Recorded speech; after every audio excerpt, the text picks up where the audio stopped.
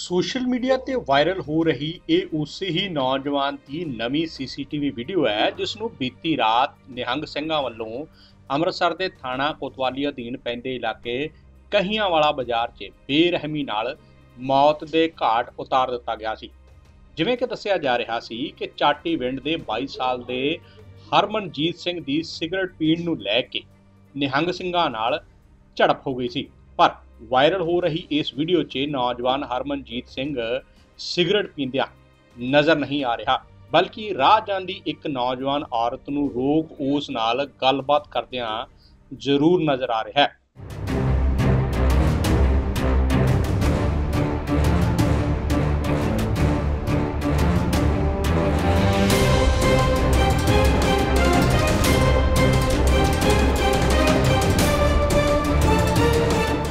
ਜਿਸ ਤੋਂ ਬਾਅਦ ਤੁਰੇ ਆਉਂਦੇ ਦੋ ਨੌਜਵਾਨ, ਜਿਨ੍ਹਾਂ ਚੋਂ ਇੱਕ ਨਿਹੰਗ ਸਿੰਘ ਦੇ ਬਾਣੇ 'ਚ ਵਿਖਾਈ ਦੇ ਰਿਹਾ ਹੈ। ਪਹਿਲਾਂ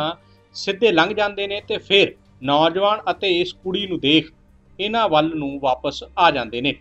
ਉਸ ਤੋਂ ਬਾਅਦ ਜੋ ਕੁਝ ਹੁੰਦਾ ਹੈ, ਉਹ ਜਗ ਜ਼ਾਹਿਰ ਹੈ। ਜਾਣਕਾਰੀ ਮੁਤਾਬਕ ਵਾਇਰਲ ਹੋਈ ਇਸ ਨਵੀਂ ਸੀਸੀਟੀਵੀ ਵੀਡੀਓ ਤੋਂ ਬਾਅਦ ਕਈ ਪਰਤਾਂ ਖੁੱਲ ਸਕਦੀਆਂ ਨੇ ਤੇ ਕਈ ਵੱਡੇ ਖੁਲਾਸੇ ਹੋ ਸਕਦੇ ਨੇ। ਹਕੀਕਤ ਟੀਵੀ ਪੰਜਾਬੀ ਲਈ ਅੰਮ੍ਰਿਤਸਰ ਤੋਂ ਹਰਜੀਤ ਸਿੰਘ ਗਰੇਵਾਲ ਦੀ ਰਿਪੋਰਟ।